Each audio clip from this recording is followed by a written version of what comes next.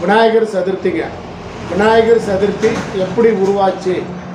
ஐந்து கரத்தானை ஆணை முகத்தனை இந்து நிலம்பரை போலும் ஏற்றனை நந்தி மகனென்று நாண கொழுந்தனை புந்தியில் வைத்தடி போட்டிருக்கின்றேனே அதனால தான் நம்ம ஒரு எழுது நம்ம ஒரு காரியம் பண்ணணுங்க ஒரு எழுதுகிறோம் அப்படின்னா கூட ஒரு பிள்ளையார் சொல்லி போட்டு நம்ம அந்த வேலையை நம்ம தொடங்குவோம்.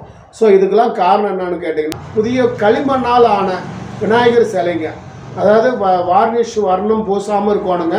வெறும் களிமண்ணால் சில சிலையாக இருந்தால் ரொம்ப நல்லதுங்க. இந்த காயின் எடுத்து பீரோவில் வச்சுக்கோங்க.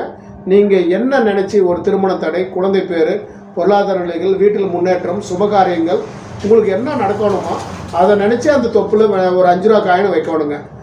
இன்றைய ஆன்மீக சிந்தனையில் நம்ம என்ன விஷயங்களை நம்ம தெரிஞ்சுக்கிறோம் அப்படின்னு பார்த்தீங்கன்னா விநாயகர் சதுர்த்திங்க. விநாயகர் சதுர்த்தி எப்படி உருவாச்சு? ஸோ விநாயகர் சதுர்த்தி அப்படின்றது விநாயகருக்கு பிறந்த ஒரு நாள் தான் விநாயகர் சதுர்த்தி அப்படின்னு சொல்கிறோம் கணபதி கணங்களுக்கு அதிபதியானவர் கணபதி. இது மாதிரி பல்வேறு வகையான பேர் உண்டுங்க. கடவுளில் முதன்மை பெற்ற ஒரு கடவுள் ஆணை முகத்தன். ஆணை முகத்தனை அந்த மாதிரி சொல்லுவோங்க. ஐந்து கரத்தானை ஆணை முகத்தனை இந்து நிலம்பரை போலும் ஏற்றனை நந்தி மகனென்று நாண கொழுந்தனை புந்தியில் வைத்தடி போட்டிருக்கின்றேனே அப்போ அந்த பூத கணங்களுக்கு உண்டான ஒரு இறை வழிபாட்டை நம்ம எடுக்கும் போதும் ஓம் என்ற பிரணவ மந்திரத்திலிருந்து உருவாக்கப்பட்ட விநாயகர். ஸோ அப்போ அந்த முதல் கடவுள் நல்லது கெட்டத்துக்கு ரெண்டுக்குமே நம்ம முதல்ல விநாயகர் தாங்க வழிபாடு வைப்போம். ஸோ நல்லதாக இருந்தாலுமே கெட்டதாக இருந்தாலுமே நம்ம எங்கேயோ போகிறதா இருந்தால் கூட ஒரு வண்டி நம்ம புதுசாக வாங்கணும்னா கூட என்ன பண்ணுறோங்க ஒரு விநாயகர் கோயில் கோயில் எடுத்து நிறுத்தி கூட சாலை விநாயகர் கோயில் எங்கேயோ ஒன்றுங்க இல்லை இந்த ஈச்சனாரி விநாயகர் எங்கேயோ ஒன்று போயிட்டு நிறுத்துறவங்க நிறுத்தி போட்டு ஒரு எழுச்சி மூலம் தேங்காயெல்லாம் வச்சு விநாயகருக்கு பூஜை போட்டுட்டு முதன்மை கடவுள் முதன்மையானவன். இறைவனுக்கு முதல் பெற்ற ஒரு நிலையில் உடையவன். அதனால தான் நம்ம ஒரு எழுது நம்ம ஒரு காரியம் பண்ணணுங்க ஒரு எழுதுகிறோம் அப்படின்னா கூட ஒரு பிள்ளையார் சொல்லி போட்டு நம்ம அந்த வேலையை நம்ம தொடங்குவோம்.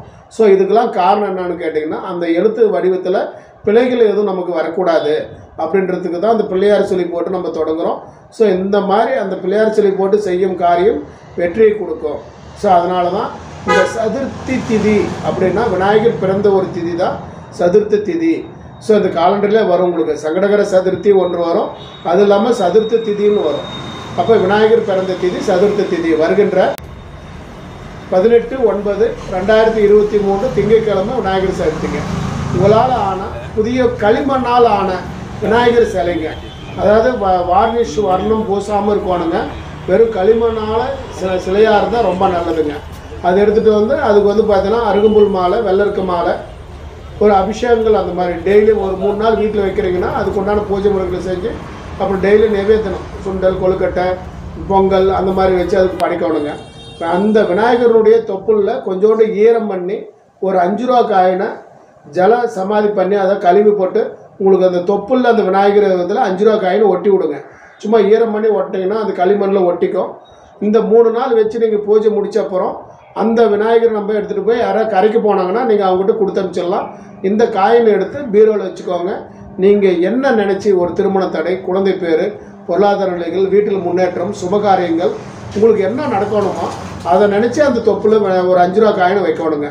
அந்த மாதிரி வச்சு வழிபாடு பண்ணிங்கன்னா ரொம்ப ரொம்ப நல்லதுங்க. ஸோ அந்த மாதிரி செய்துக்கும் போது ஒரு வாழ்க்கையில் ஒரு முன்னேற்றமான ஒரு நிலைகள்ன்றது ஏற்படுத்தி கொடுக்கும். விரதம் வந்து பார்க்குதுன்னா ஒரு பொதுவாக விநாயகருக்கு விரதம் இருக்குன்னா நம்ம வந்து காலம்பரம் எழுந்துக்கணுங்க. விநாயகர் சதுர்த்தி தினத்தன்று அதிகாலை உள்ளத்தையும் உடலையும் சுத்தம் செஞ்சு செஞ்சு போட்டுங்க.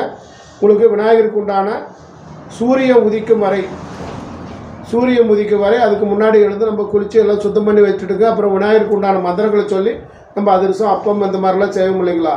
அது மாதிரி செஞ்சு விநாயகருக்கு வச்சு படித்து போட்டு நீங்களும் சாப்பிட்டு அக்கம் பக்கம் இருக்கிற வீட்டில் கொடுக்கும்போது நல்ல ஒரு முன்னேற்றமான ஒரு நிலைகளாகப்பட்டது உங்கள் வாழ்க்கையில் ஏற்படுத்தி கொடுக்கும். ஸோ இந்த மாதிரி விஷயங்களை செய்து பயன்பெற ஆமாங்க. அது வந்து வர்ணம் பூசுறது என்னன்னா அந்த நீரும் வந்து மாசுபடுத்துதுங்க. இந்த மாதிரி வந்து வர்ணம் பூசி பண்ணுறதுல நீர் மாசுபடுத்துது ஒன்று ரெண்டாவது வந்து ஒரு சில பொருட்கள் வந்து மங்கி போகிறது இல்லைங்க அதாவது களிமண் மட்டும்தான் உங்களுக்கு கரைஞ்சி மறுபடியும் அது மண்ணாக நமக்கு யூஸ் ஆகும். மற்ற எந்த பொருளாக இருந்தாலும் இந்த பீங்கான் இந்த மாதிரி உட்டு இந்த மாதிரி இதெல்லாம் கண்டிப்பாக யூஸ் பண்ணக்கூடாதுங்க. அது வந்து எஃபெக்டிவ் ஒன்று இருந்தாலும் அதில் பலன்கள்ன்றது நமக்கு எதுவுமே கிடையாதுங்க. ஆனால் களிமண்ணால் விக்கிரங்கள் மட்டுமே அந்த ஒரு நாட்களில் அதுக்கு வைப்ரேட் அதிகமாக இருக்கும். அதனால தான் பர்டிகுலராக அந்த வர்ணம் பூசாமல் ஒரு விநாயகர் இருந்தால் அதுக்கு வந்து ரொம்ப சிறப்பு அந்தஸ்துகள் கொடுக்கும்.